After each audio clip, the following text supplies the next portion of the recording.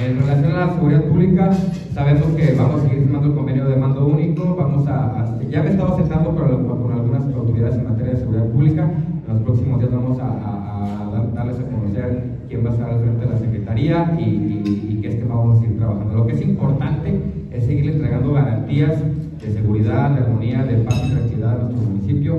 Ya estuve reuniéndome también con el teniente coronel de la 14 Zona Militar para eh, comenzar a construir una estrategia en conjunto y no hacer esfuerzos aislados.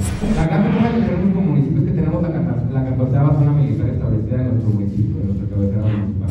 Vamos a trabajar en, en, conjunto y coordinación, pero también haciendo alianzas con los ciudadanos. Hemos estado creando comités de vecino vigilante que ellos son los que nos atienden y nos reportan las situaciones que suceden en su, en su colonia y en su comunidad. Pues creo que es la única manera de poder tener eh, un municipio tranquilo en paz si lo hacemos en conjunto con la gente, si ellos en cosas.